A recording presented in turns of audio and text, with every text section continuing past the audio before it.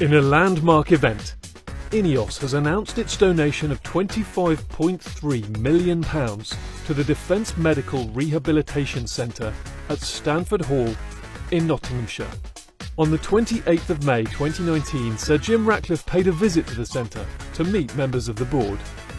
If you come here with a trauma, your head's not in a very good place. This is quite uplifting, really, for somebody who's in a very difficult place when he arrives.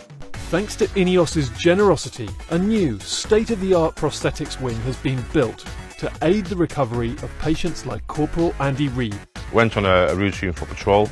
Unfortunately, stepped on a pressure plate. I was laying on the floor on my back. I looked down, couldn't my legs.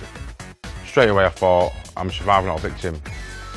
This has been purpose built to get those guys out of the wheelchair, get some prosthetic legs on, get them in the bars, get them walking, and then as we've seen before, go around the test track and test those limbs and test the walking ability in a safe environment or an environment that, that's real uh, to the real world. Building on the incredible work of the Grosvenor family, INEOS's donation will mean that wounded servicemen and women will get the best support possible.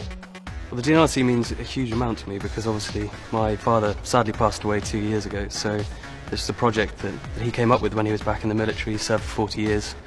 I took it over when he, he sadly passed away. It's the whole facility that's you know really very impressive when you drive in. It's been so well done. I will be very pleased they've called it uh, the INEOS Wing. It's a good cause.